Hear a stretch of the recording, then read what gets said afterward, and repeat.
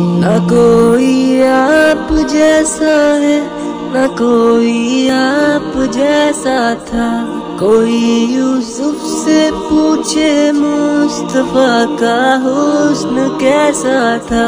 जमीनों आसमां में कोई भी मिसाल ना मिली। मौलाया सल्ली वसल्लिम दाइमन